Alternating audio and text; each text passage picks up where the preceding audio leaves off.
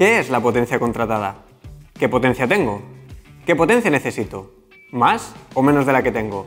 Y si la quiero cambiar, ¿cómo lo hago? Tranquilidad, no os agobiéis. Ahora os explicaremos todo. ¿Qué es la potencia contratada? La potencia contratada es, como si dijésemos, el máximo de electricidad que puedes utilizar en un mismo momento. Es decir, a efectos prácticos, la potencia contratada equivale a la potencia que necesitan todos aquellos aparatos que quieras utilizar en un mismo momento. Contra más potencia contratada tengas, más aparatos podrás utilizar. La lavadora, el ordenador, la secadora, la calefacción... Pero claro, quizás no necesites utilizar todos al mismo tiempo. Volveremos más tarde sobre este punto. ¿Qué potencia necesitas en tu casa? De hecho, puede que no sepas ni qué potencia tienes contratada. Lo puedes ver rápidamente en cualquiera de tus facturas, en el apartado Datos del contrato, potencia contratada. También lo puedes ver en la oficina virtual, en el apartado Contratos, ver mis contratos. Elige el contrato que quieras, si tienes más de uno. Ve a gestionar detalles del contrato. Entre toda la información podrás encontrar también la potencia contratada. Ahora ya sabes qué potencia contratada tienes.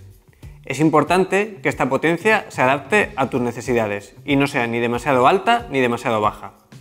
Si es demasiado baja, a menudo te saltarán los plomos y si es demasiado alta, estarás pagando más de la cuenta. La potencia contratada es uno de esos importes fijos, diario, que no depende de la cantidad de energía que utilices. Es decir, tanto si utilizas más o menos energía, el importe de potencia contratada no variará.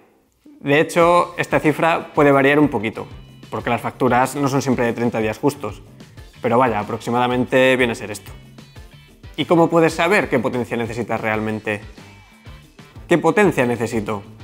Primero, deberás pensar qué aparatos quieres tener conectados a la vez.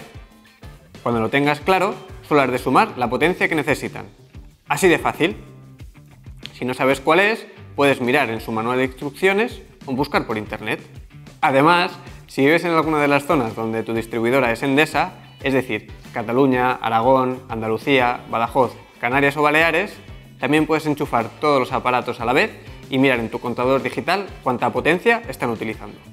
Leer el contador digital puede hacer un poco de respeto en el primer momento, pero tranquilidad, ahora os explicaremos cómo hacerlo.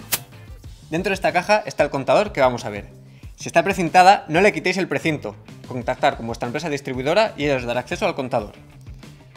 Para poder abrir la caja necesitaréis una llave maestra como esta. Podéis ir a cualquier ferretería y pedirla. Nosotros ya hemos abierto la caja y voilà, aquí está nuestro contador. Dependiendo de la zona, la distribuidora instala un contador u otro. Son todos muy parecidos. Tienen un botón para poder navegar por los diferentes menús que tiene y a veces está situado aquí a la derecha, es de color amarillo. Depende de la marca del contador, pero todos tienen las mismas funcionalidades. Para poder funcionar con él hay dos tipos de pulsaciones. Una más larga, de unos 2 segundos, y otra más corta para ir navegando por los diferentes menús.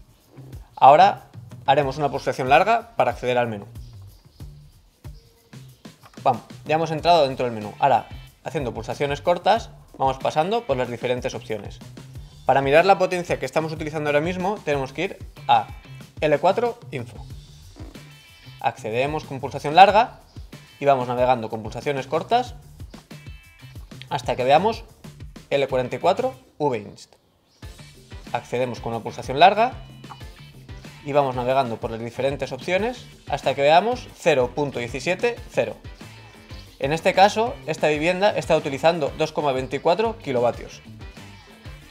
Si tuviese una potencia contratada de 3,6 kilovatios, pues todavía podría enchufar más aparatos al mismo tiempo y no saltarían los plomos. Una vez que hemos visto todo, para volver al estado inicial solo hemos de esperar unos segundos. Recordar, para mirar la potencia que estáis utilizando tenéis que ir al menú L4 Info, después ir al menú L44 VINS y después al apartado 0.17.0. Un par de consejos. Piensa si realmente necesitas poner a la vez la lavadora y la secadora. Mientras tienes un pollo al horno, se carga el coche eléctrico, te secas el pelo y además pasas el aspirador. Igual no hace falta. Piensa solo en aquellos aparatos que tienes que conectar a la vez.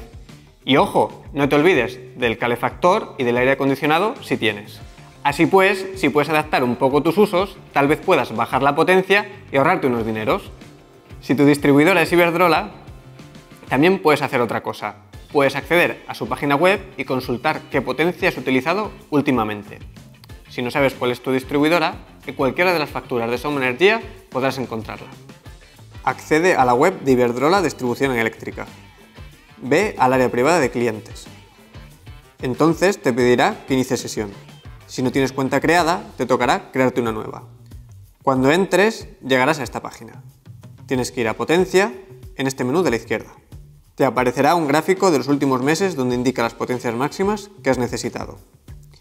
Y aquí te indica el máximo de potencia que has necesitado y la potencia que tienes contratada.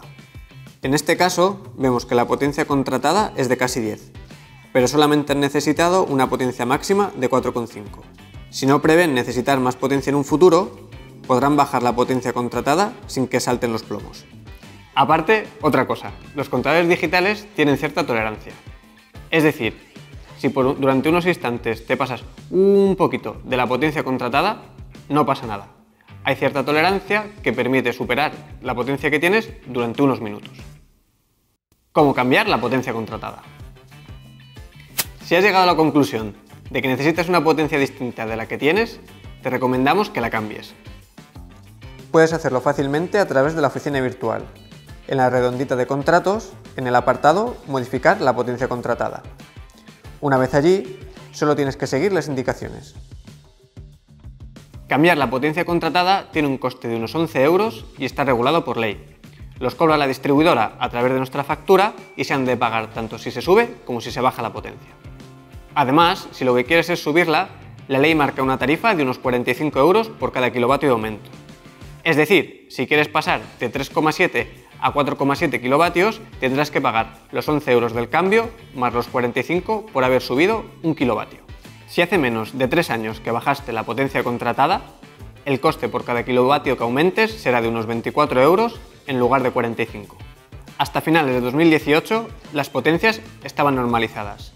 Eran 3,45, 4,6, 5,75 y solo se podía escoger entre estas potencias. En cambio, ahora puedes escoger en tramos de 0,1.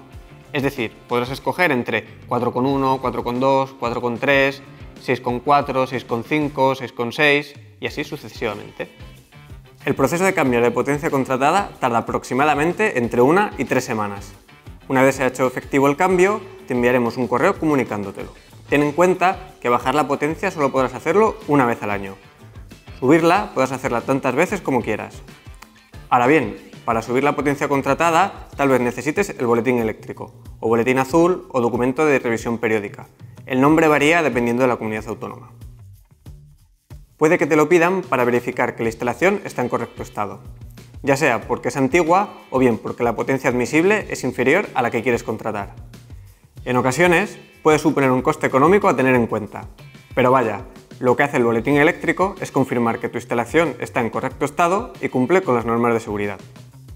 Así pues, no es mala idea realizar esta revisión periódica y si surge algún desperfecto, repararlo para no poner en riesgo tu vivienda y las viviendas próximas.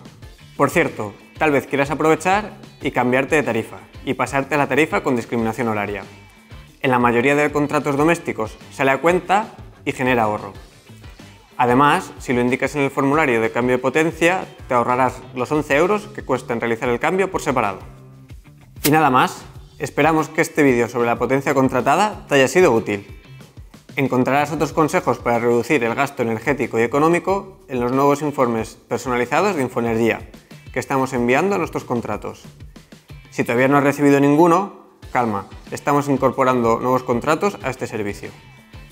Y si aún no lo has hecho, suscríbete al canal de YouTube de Som Energía, que estará por algún lado de por aquí. Muchas gracias.